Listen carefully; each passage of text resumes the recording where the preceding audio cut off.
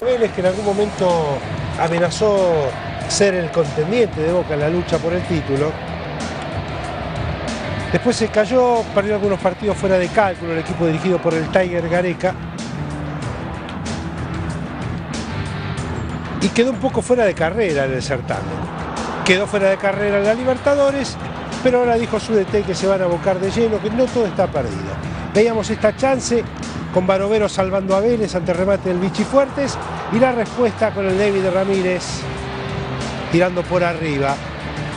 Caire, el centro, Ortiz, le queda Graciani al medio, Moreno Fabianesi y Barovero providencial con los pies la manda al córner. Volvía a salvarse Vélez. El burrito Martínez con la contra. El David Ramírez toca por arriba el golo y lo que se perdió ante la salida de Pozo. No podía definir bien. Y otra vez con el mismo protagonista. El hombre de Villa Ramallo que patea desviado. El burrito Martínez entra al área. García que lo desplaza. A ver, vamos a ver de nuevo. Oh, sí, penal. Penal, penal, penal. Le cruza el codo, penal.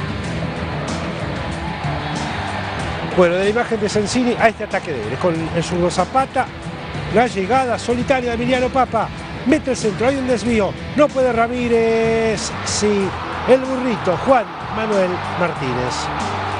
Cuarto en el torneo para él. Vélez que acumulaba 337 minutos, 5 partidos en el torneo local desde la fecha 12 ante estudiantes. Cuando justamente a los 34 del primer tiempo el burrito había anotado el gol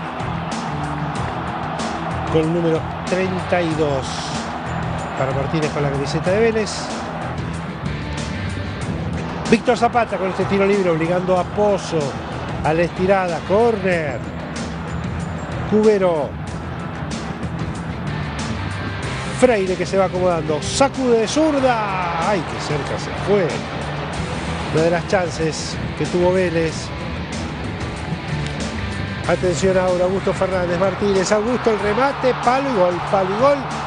Y gol de Augusto, segundo del torneo para Alex River. Leandro Velázquez estaba adelantado, pero no participa en la jugada y tampoco molesta demasiado a Diego Pozo. Así que ahí estaba el gol de Augusto para el 2 a 0. Cambiamos